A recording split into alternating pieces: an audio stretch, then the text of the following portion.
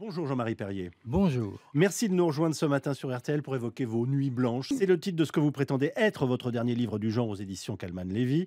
Euh, Dutronc, Johnny, François Hardy et bien entendu votre père adoré François Perrier. Ils sont tous là avec des photos exceptionnelles et vos textes qui ne le sont pas moins. Un ami nous parle à l'oreille, il a croisé le monde entier, c'est vous. En fait, ce film de votre vie est aussi le nôtre, des années 60 à aujourd'hui. Vous êtes nostalgique, Jean-Marie Perrier?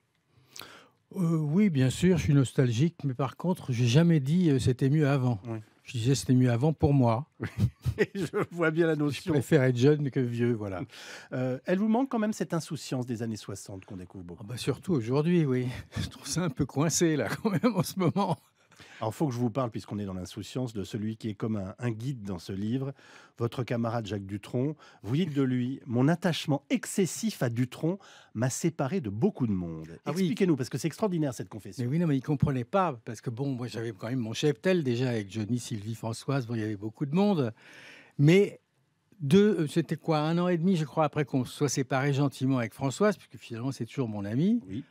Nous parlons de Françoise Hardy. Hein, et elle me présente euh, me dit voilà j'ai rencontré quelqu'un. Donc moi je vais le rencontrer. Je ne vois, pas comment je peux pas aimer la personne qu'elle aime. Bon donc et je tombe sur lui et là mais alors je suis absolument sidéré de voir un type tellement différent des autres tellement rare parce que tous ils étaient américanisés Hein, il y avait des, hein, il s'appelait avec des noms différents, Dick Rivers, tout ça. Lui, il arrive, il s'appelle Dutron, il est en cravate, il est le plus insolent de tous. Ah, j'en suis, j'étais fou de ce mec-là. Alors Dutron, qui est fin psychologue, car vous le citez, parlant d'Eddie Mitchell, moi j'ai adoré ça, c'est extraordinaire. Eddie, même quand c'est lui qui t'appelle, tu as l'impression de le déranger. Ça, c'est vraiment typiquement Dutron. C'est du Dutron. Hein. Ah oui, oui, formidable. C'est quand même très vrai sur Eddie Mitchell. en plus, oui. Entre autres anecdotes vous avez rencontré Mère Marguerite. Alors c'est la mère supérieure de, de Montaille dans l'Aveyron, et vous vous êtes rendu compte, un peu par hasard, quelle était la tante de Jacques Dutronc. Racontez-nous ça. Oui, parce, qu'il ne me l'avait pas dit, moi. Donc, euh, j'étais dans l'Aveyron chez moi, ça fait 25 ans que je suis là-bas. Et on me dit, ah oui, mais vous savez, à, 17 km, il y a la mer supérieure de, de, de, je ne sais plus comment s'appelle la ville d'ailleurs, parce que j'ai plus de mémoire. Montaille de Monteil et c'est la, la, tante de Jacques Dutronc. Je l'appelle, je dis mais tu te fous de moi ou quoi? Pourquoi tu... Ah oui, oui, bah, tu verras, tu la reconnaîtras bah, parce qu'elle ressemble beaucoup à mon père. Effectivement, c'était la même tronche, mais en, en, dame supérieure. quoi. Et alors c'était merveilleux parce que euh, D'abord, elle, avait été assez difficile à, rencontrer. C'est comme dans la famille, ils n'aiment pas beaucoup. Alors le truc. Bon, finalement, je l'ai réussi à avoir le rendez-vous et je lui ai apporté une photo de Dutronc. Mais alors, dans, encadré, et vraiment, c'était carrément tous les attributs du diable, hein, c'est-à-dire le blouson de cuir, cigare, lunettes noires, tout. Et là, c'est le, c'est la sainte et le diable, quoi. C'est formidable. Alors, on parle de ceux que vous aimez, euh, et je voudrais qu'on parle de quelqu'un qui vous a déçu et que j'adore, Steve McQueen. C'est page 78.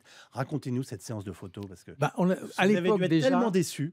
Oui, oui, parce que j'étais un acteur que j'aimais beaucoup. On l'adore, ben oui. Et puis, euh, à l'époque déjà, c'était assez rare, mais j'avais un rendez-vous d'un quart d'heure. Bon, donc, je vais en, Espagne avec ma sœur, qui était toute jeune. Anne-Marie Perrier. Euh, Sardou. Et, euh,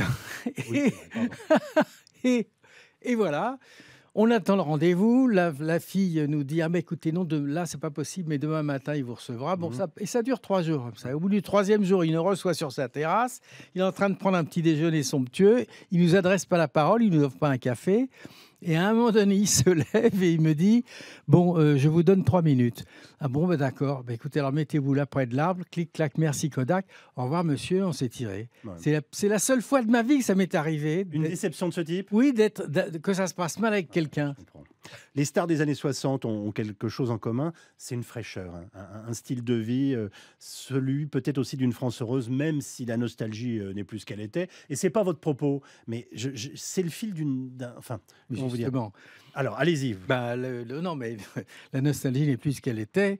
C'est surtout le lien formidable que j'avais avec Simone Signoret, qui était une amie d'enfance.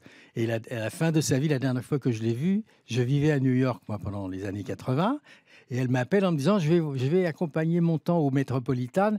Alors, mais je vois plus très bien. Mais toi, dans le, dans le, en face de l'ascenseur dans l'hôtel, c'est un hôtel français qui donnait sur le parc à New York. elle me dit parce que je vois plus très bien. Dis-moi, je l'attends. Elle arrive et on traverse pour aller jusqu'à la, limousine.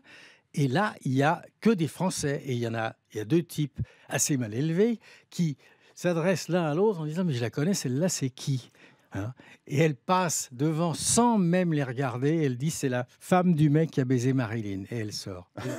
Et elle balance le, drame de sa vie à deux, deux cuistres. Quel personnage. Il y a des personnalités qui reviennent plusieurs fois dans ce livre. Alors, Sylvie oui. qui est la plus représentée, 19 photos d'elle, hein, j'ai fait le calcul. Euh, juste devant Johnny, à qui vous consacrez 17 pages. Parlez-nous d'eux. Oh bah, eux, c'était des rapports extraordinaires. Il faut dire que tous ces mômes-là, quand je les ai rencontrés, moi j'avais 22 ans et je revenais de l'armée. Hein, je suis quand même un ancien combattant, j'aimerais un peu de respect. Et, et je me tombe tout à coup, grâce à Daniel Philippaki qui dirigeait ce nouveau journal qui allait démarrer, il me dit bon bah tu veux faire ça avec nous? Moi je faisais Oui, bon, moi je faisais des photos de Catherine Langer sur fond de velours Bordeaux, euh, bon à télé 7 jours. J'en avais un peu marre, donc je saute dessus. Et tout à coup je rencontre une ribambelle de mômes qui ont entre 17 et 20 ans, qui partent de rien et qui ont eu des vies très difficiles par rapport à la mienne, qui quand j'étais jeune était quand même extraordinaire avec mon père et tous les acteurs. Et là, effectivement, je tombe sur alors elle, faut voir quand même qu'elle arrive de, de, Bulgarie à 5 ans avec la valise en carton. Hein. hein. Mhm. Bon, donc tout ça, moi, ça me touche énormément. Et... Vous êtes un grand frère, en fait, à ce moment-là. Oui, mais oui, je suis un... Et un copain. Oui, parce qu'on vit ensemble avec tous, que ce soit eux ou les Beatles ou les Rolling Stones, c'est pareil, on vit ensemble. D'ailleurs, quand ils se marient, ils me prennent pour témoin, ce que je trouve très gentil, je dis Sylvie, et en plus, ils m'emmènent en voyage de noces. Mmh. On était tous les trois. C'est incroyable. Dans vos textes, vous racontez les souvenirs que vous avez avec votre père, François Perrier.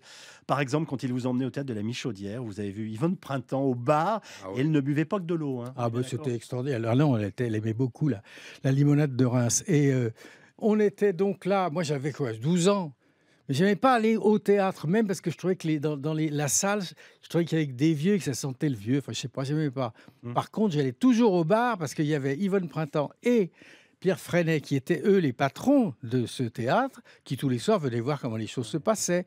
Et le problème pour Pierre Freinet était de faire sortir Yvonne Printemps du bar avant l'entracte. Parce que les mecs arrivaient, ils avaient payé leur place. Et elle, alors si jamais elle les voit, vous ne comprenez rien, comprenez rien au théâtre et tout. Alors là, il fallait la tirer jusqu'à dans les, dans les coulisses. C'était merveilleux.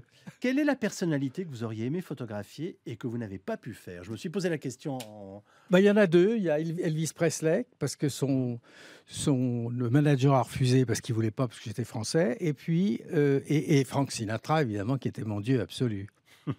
une, une confirmation, Paul McCartney est vraiment charmant. Hein, charmant.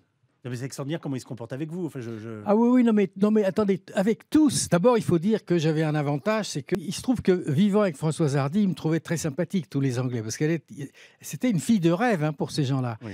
Mais eux, ce qui était merveilleux, c'est que je pouvais les appeler en direct leur dire voilà, qu'est-ce que tu fous la semaine prochaine? Il faudra que je fasse une page. Ben, ah, ben, t'as qu'à venir. Voilà. Puis, non, c'était une simplicité merveilleuse. Alors, en ouvrant le livre, on, lit cette phrase Ceci n'est pas un livre de photos, ce qui est une forme de provocation.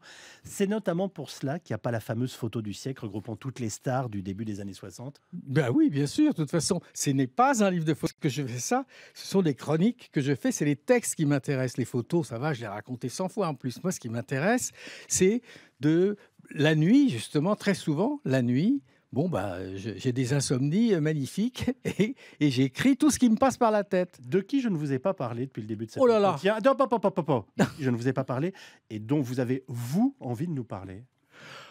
Oh là là Ah bah oui, débrouillez-vous. Hein. Ah oui, alors là, je suis là, je suis vraiment très content. c'est un peu une vacherie. Oui, ça c'est un peu une vacherie, c'est vrai. Non, alors je sais pas, je, peux vous parler, oui, parce qu'il y a aussi des gens, il y a des gens connus, mais il n'y a pas que ça. Il y a aussi cette femme extraordinaire. Enfin, drôle de situation qui est à la télévision qu'on voit parce qu'elle est toujours en train de se, retenir l'estomac parce qu'elle vend des médicaments contre la constipation. Alors j'ai trouvé que cette femme, il fallait se pencher sur son cas parce qu'elle a des gosses sûrement et, pour ces mômes de voir leur mère entre espèce de Jeanne d'Arc de la constipation, ça ne va pas être simple quand même. Voilà, bon, cette femme-là, ça m'a touché, par exemple. Euh, il y a dans, cette, euh, dans ce livre, on pourrait imaginer, je vous le disais tout à l'heure, qu'il y a une forme de nostalgie. C'est pas vrai. C'est une, en fait, c'est l'histoire de votre vie. C'est l'histoire de ma vie et puis c'est un peu de délectation parce que j'ai toujours, j'ai toujours été comme ça. Ah oui, c'est votre nature? Oui, oui, absolument. Je suis un faux non, mais, non, non, mais c'est merveilleux de se souvenir. Vous vous rendez compte, c'est ce qu'il y a de, c'est ce qu'il y a de plus formidable à mon âge, parce que maintenant je suis plus un poussin du jour. Hein. Donc, bah, euh, voilà, j'ai encore la possibilité de me souvenir. Il y a des surprises. Euh, on trouve des personnalités comme euh, Anne Sylvestre, euh, Carla Bruni, ça n'est pas une surprise. Il y a de très belles photos de Michel Serrault. Il se trouve que je l'ai bien connu. Ah oui, mais lui, quel personnage. Allez-y. Oh, bah, ma- magnifique. Lui, je connaissais depuis l'Amiral, qui était un, un, cabaret, des- Cabaret. des années 50 où mon père m'emmenait la nuit après le théâtre.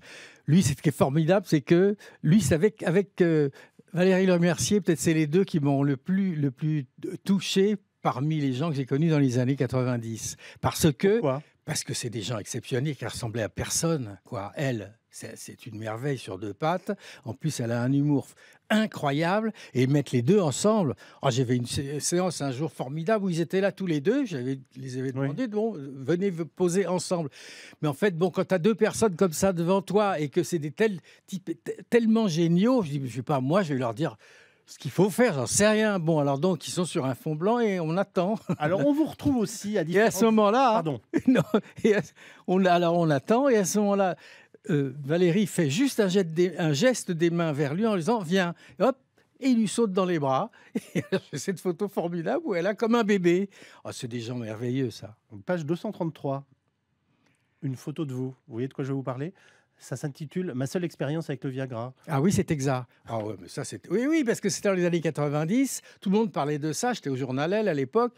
Bon, donc je me dis, il faudrait quand même que j'essaye une fois. Oui. Bon, alors donc j'y suis allé. Alors j'avais pris rendez-vous. Ah Ensuite, j'ai pris la pilule, terrorisé à l'idée qu'elle vienne pas, parce que bon, c'était quand même la crise du logement là en bas. Oui. Alors donc, j'attends, elle arrive, nous faisons affaire, mais alors c'était affreux parce qu'on était trois dans la pièce. Il y avait Oh, elle. Dieu. Il y avait elle, il y avait mon sexe au milieu, une espèce de, de chose que je ne connaissais même plus, et, et- et moi qui regardais la télé et qui avait très mal à la tête parce que tout le sang va en bas, de la tête vers le bas. C'est épouvantable. J'ai fait une fois, c'est la dernière, je peux vous dire. Je vous demande pas de choisir la photo que vous préférez? Ça n'a pas de sens? Non, petit. Enfin, Ah, je, dis. Allez-y si vous avez envie d'y aller. Ah ben j'ai dit toujours la même, c'est toujours la même, c'est celle de Jacques Dutronc avec un casque dont le fil est, ret- est- est retenu à la bouche d'un poisson. Voilà. Mhm. Ça ne veut rien dire du tout. Et alors les mecs ont cherché des tas d'explications, alors que la vérité c'est qu'on était un peu bourré au resto d'à côté, et on a fait ça mais en deux minutes, et c'est celle qui me fait le plus marrer. Merci d'avoir partagé avec nous ce matin euh, vos nuits blanches. Mes nuits blanches parues aux éditions Calman Lévy. Euh, c'est l'histoire euh, d'une vie et presque d'une civilisation en tout cas qui paraît très douce a posteriori. Merci beaucoup Jean-Marie Perret. Mais c'est moi. Bonne journée à vous.